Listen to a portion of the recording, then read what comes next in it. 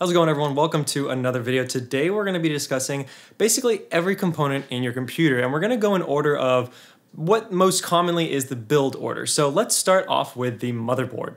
Your motherboard is actually a lot more than just a point where everything plugs in. Your motherboard controls not only the inputs and outputs of your computer, but as well as the power distribution for a lot of components. The main plug being the 24 pin power plug will actually distribute power to your fans, the RAM, all your PCIe devices, and much more.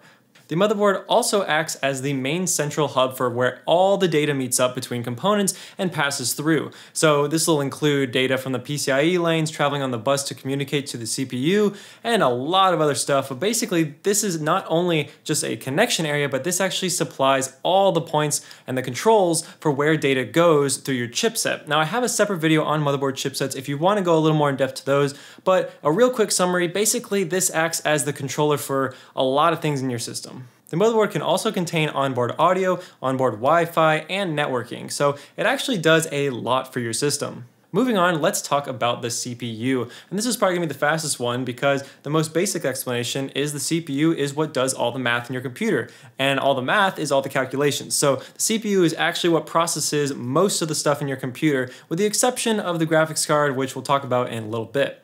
But the CPU is what is doing all the arithmetic math in the computer in order to actually process data. Moving on to the RAM. So your RAM is going to be like the workbench your CPU works on. So the CPU is over there doing all of its math, working on problems and solving all the processes it needs to solve for your computer to work. And the RAM is basically its workspace. The RAM gives the CPU an area to store data that it's working on in a really fast way. So it's not like your hard drive where it has to access it through either SATA or NVMe.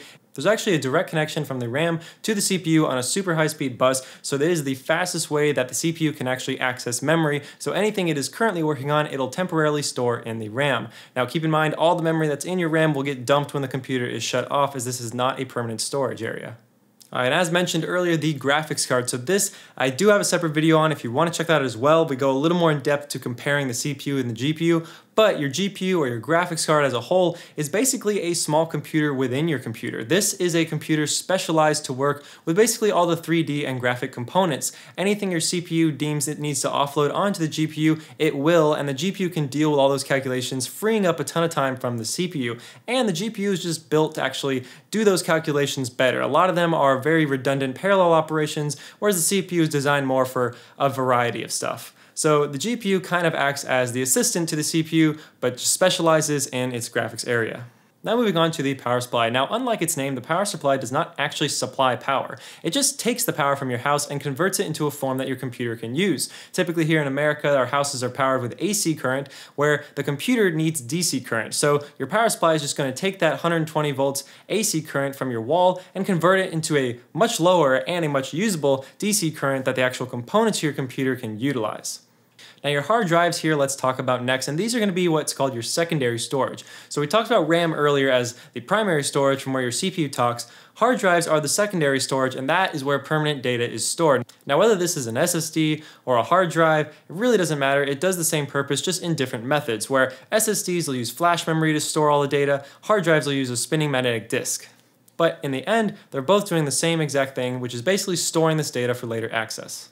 Now, if you open your computer and you see extra cards in your PCIe lanes, this could be a number of things, as these PCIe lanes were designed so that way they could accommodate a multitude of different cards. This could be a capture card, a dedicated sound card, this could be a dedicated Ethernet card, a Wi-Fi card. There is a ton of things that this could be, and these all just vary system to system on what the user needs. And that's what's the great thing about all these extra PCIe lanes usually computers have, is if you need extra USB ports, you can go buy a card that'll give you that.